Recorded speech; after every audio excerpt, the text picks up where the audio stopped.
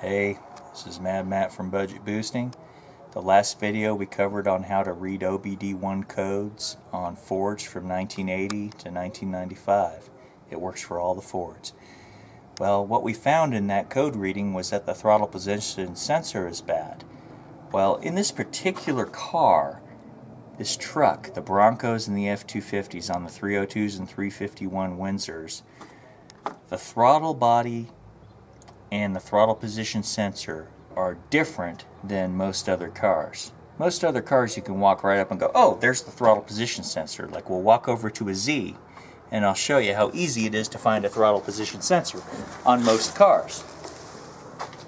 Okay, you walk up to this car, 1986 300ZX Turbo, and you find the throttle. Hey, there's my throttle. Directly across from the throttle is the throttle position sensor. Boom, there it is. Easy to find. We'll walk up to a Buick and I'll show you the same thing. Okay, we'll walk up to the Buick. Look at the throttle body. You find the throttle. And there's the throttle position sensor on the other side. Opposite side of the throttle. Most cars are that simple. But these 1985 through 1996 Ford series Broncos and F-250s, they had to be different. They're harder to find. They changed the mounting of their throttle body, so the throttle position sensor is very different. For example, let's look. Here's a, an 89 Ford F-250. Most people go, oh, there it is, right on the side, right? Well, no. Ford mounted their throttle body, most throttle bodies are mounted horizontally, or like this. Ford, since they have a high-rise manifold, turned the throttle body like this, therefore the throttle is on the top. And remember I said when I'm looking for a throttle position sensor, wherever the throttle is on the opposite end is the throttle position sensor. Well, here is the throttle on this Ford. Throttle position sensor is on the opposite end, way the heck down there. Not like all the other cars I just showed you just now. They had to be different. They put their throttle body mounted like this, vertically. So, opposite end of the throttle is the throttle position sensor which means it looks like we're going to have to remove this entire throttle body or everything leading to the throttle position sensor to take it off and change it. So this is going to be fun. I already took off the first thing already to make access to the throttle. So, took this off.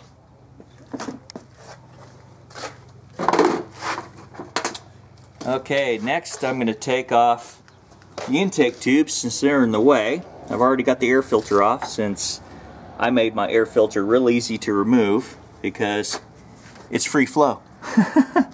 I got a free flow air cleaner. I did my own intake mod and saved myself a bunch of money, which you'll see in another video. Free intake mod. Here we go. I'm taking off the intake with a screwdriver. Okay, so far what I've done is I've removed the intake assembly. Then I gently remove the cruise control and the uh, transmission kickdown cable, the cruise control and the throttle, gently from the throttle body. Now I'm just removing various plugs and stuff to gain access to taking off the throttle body.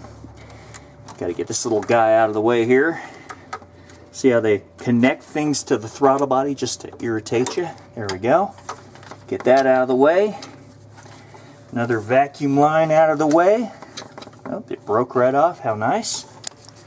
Typical old rubber. When that happens, you just cut a nice fresh end and reconnect.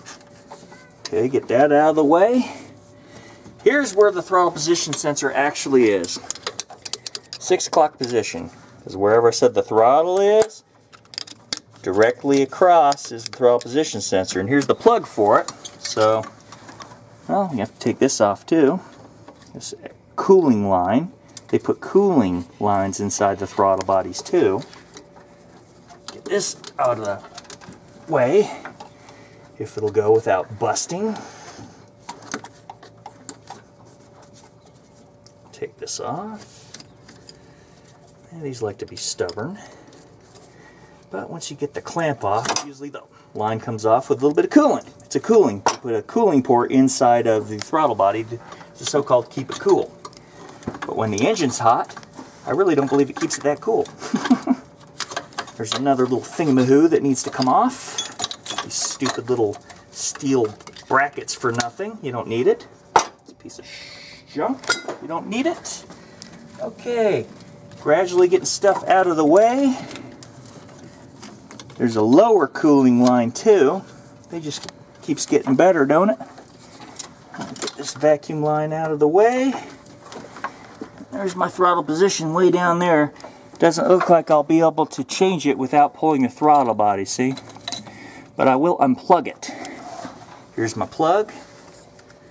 Play with the clip, unplug it. Most of the time the clips always break because they're cheap brittle plastic and after, you know, 25, 26 years, this brittle plastic just, as soon as you start to flex it, it goes blook. But it doesn't matter because you can just plug it right back in like nobody's business. It's not a big deal. It's just cheap plastic. So you just plug it back in, and there you go, it'll stay. You just don't have that plastic clip to deal with next time. And it looks like I'm going to have fun with this bottom water clamp because it's got one of these unique clips to it. See? Look at this clip. It's not like a typical, you know, this is the good kind. You just tighten it, loosen it. This is the bad kind. It's a one-time use. So I'm going to have to replace it with one of these type of easy adjusting hose clamps because the factory likes to use these. These are a nightmare to take on and put back on again. They're a real pain. So we'll probably take a cut here. I'm going to remove that and I'm going to remove the rest of these bolts here since I've got most of the stuff out of the way of the throttle body, I'm just going to remove these mounting bolts right here. Mounting bolts. And this cooling line here, which is going to take a while because it's got that special clamp I'm going to have to pry off. And I'm going to make a pause here and basically take the throttle body off the rest of the way and then show you how to change the sensor and then reverse the process of putting it back on. You know, it's always easier to, if you want to mark your lines with some masking tape and some pencils. You know, you take a Sharpie pen and you put some tape on there and mark what this thing is and where it goes, but I pretty much know where these go. But it's easier if you mark them, so when you put them all back on, you know exactly where your stuff's plugged into. So we're going to take a pause now. I'm going to remove the rest of this throttle body and I'll show you how to change the throttle position sensor. Hey, we've almost got the throttle body off. What a lot of work that was. But see, I'm getting the last bolt right now that's holding on the throttle body. And at the very bottom of the throttle body is the mission we're trying to accomplish here. This one little throttle position sensor on the hardest place which you'd never remove without taking the entire throttle body off. They couldn't be like everybody else and have the throttle bodies mounted like this See? Then you can get to it. Oh, and there's a happy gasket too. That's broken, of course. Hey, hey, hey, all right, the news keeps getting better.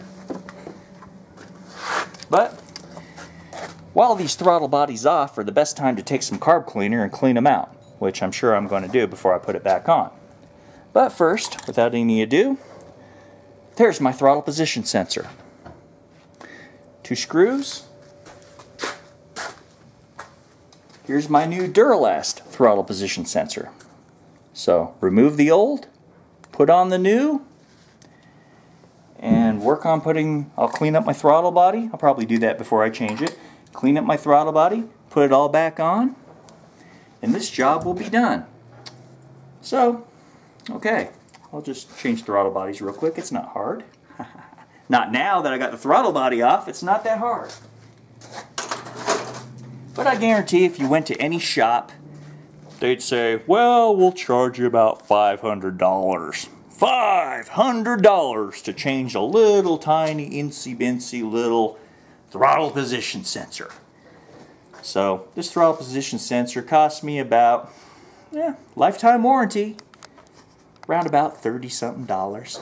30 something dollars in my time and I changed this throttle position sensor out where if you go to a dealer or any mechanic shop they'd probably give you the average $500 price to change this easy part.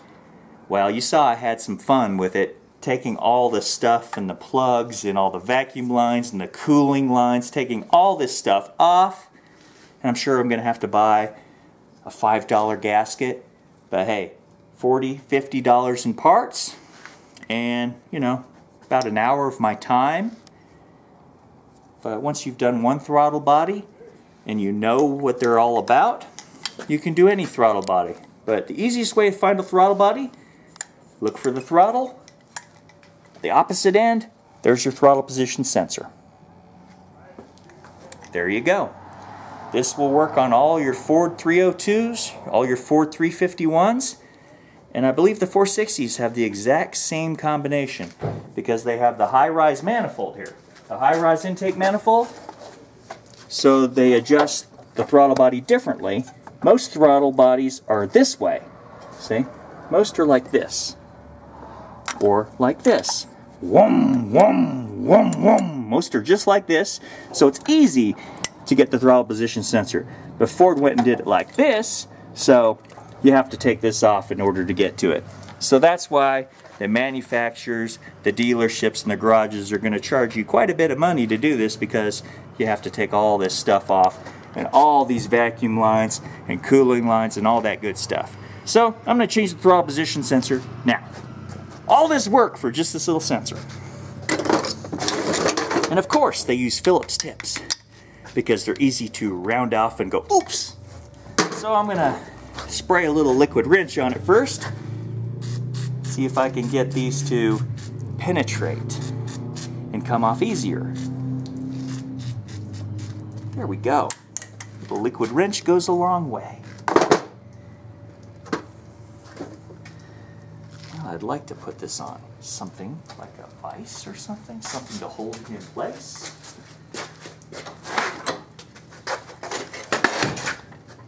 Bit of a vise work. Now that I got a nice little vise, I can use it for something. Yes. We all have our vices. and this one is mine. This will hold everything in place while I attack the sensor. I'll put a rag around it just to make sure I don't collapse anything because you know I'd hate to crush this expensive throttle body and then have to pay a lot of money so I'll put it between some lint-free cloths. Or towels or rags or whatever you want to put it between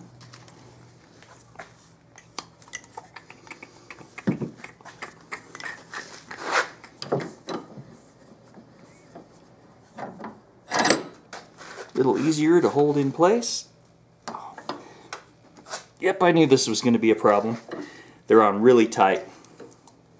Yeah, they're on really tight. You know what this little tool is? This is an impact screwdriver.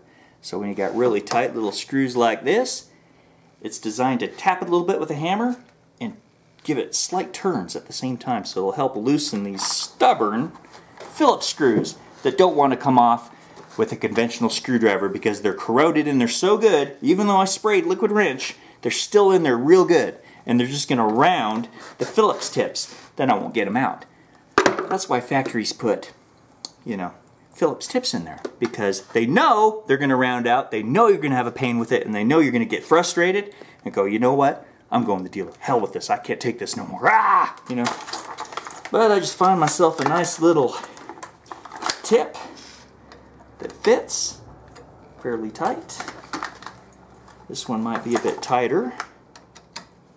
Let's see, that's pretty tight. I'll pick this one.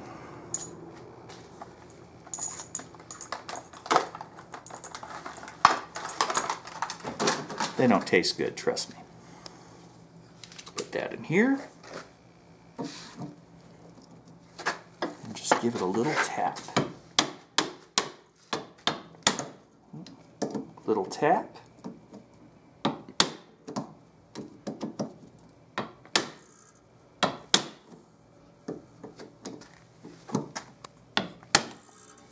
Now let's see if it'll come off. Look at that. The impact screwdriver saves the day again. Now they come loose. So just remember you get some stubborn Phillips screwdrivers. You can get these at AutoZone or Kragen O'Reilly's, any of the great auto parts stores, and get yourself a nice impact screwdriver. Comes with uh, lots of different tips real nice because when you have a hard time taking off those stubborn Phillips tips, they're very easy to round off. But before they round off, use an impact screwdriver. They come right off now. You got so much more mechanical advantage with this. See how the Phillips screw is coming right off now to change that stubborn throttle position sensor Phillips screws. They're really making me work for this throttle position sensor, aren't they? But hey, I'm saving myself $500, so, you know. I feel a little bit better when I think about it like that. I'm saving myself $500! I feel a little bit better now. Because $500, oh yeah, see? It was corrosion all the time. See the corrosion right there? Corrosion, or they probably put, they probably put some sticky compound in there to make it really hard for me to remove. Yeah, that's real nice of them, huh? See all that? That's either corrosion or thread lock. Thread locks usually comes in red, so it could be some thread lock. They put those in there really tight for a reason, so you get frustrated and give up. Well, I don't give up so easy. There's my old throttle position sensor. Oh, look at that thing broke real good. Look at that. All the pieces, because it's great quality plastic, see? The actual pieces broke right inside. That's why the throttle position failed. The plastic inside fell apart. Gotta love it. Good quality plastic. Make everything out of great quality plastic. Well, this to me, this is garbage. It's getting thrown away. And get my new throttle position sensor. New Duralast lifetime warranty throttle position sensor. See, those are the things that broke. Those little plastic gears. They broke right inside. So, piece of junk. Do I have a gas No. Oh. Now, before I put these screws in, I'm going to do what the factory didn't. I'm going to give them a little lubricant so they don't come flying out again so easy. Little liquid wrench. And the next time I have to remove this, it'll be easier. Okay, got your little keyway. Got little guy here. Put this thing in here gently. Hmm, find a little groove. Find my proper groove. Hey, well, we finally got it done. We cleaned the throttle body out. Got it fairly clean. A lot better than it looked before. I ran out of carb cleaner, but pretty much did the trick. It was all caked with a bunch of stuff and finally got it opened up nice and clean now, so it's much better than before. Installed the new throttle position sensor. It's all installed in the throttle body. All that's left to do is buy a new gasket and put it back on just like it was before. So I'm not going to show that part because it's pretty much just the reverse of what we've done. So brand new throttle position sensor. Here's the old nasty one that busted all the plastic broke off. Put the new one inside the throttle body. And there you have it. How to change a throttle position sensor on all these 86 through 96 Fords with the 351s, the 302, and the 460s on all these trucks. The F-Series trucks and the Broncos, they all have this same throttle body configuration where the throttle's on top and the throttle position sensor's on the bottom. Not like the other cars where they're like this. So, hope you learned something good, and if you like us, like us on Facebook, and like us on YouTube. Subscribe to our YouTube page. Check out our budget boosting website, Look at our budget boosting stickers. Budget boost your ride today for 20 bucks. Free shipping on eBay. Buy it now auctions. And like always, knowledge is power. It's horsepower. And every time it pauses, that's a new number. So we're going to look for the flashes, count the flashes, write them down on paper. When it pauses, that's a new number. Count the flashes, write down that number of flashes as a number. We'll do that so on and so forth until the check engine light stops flashing. So we're going to start again.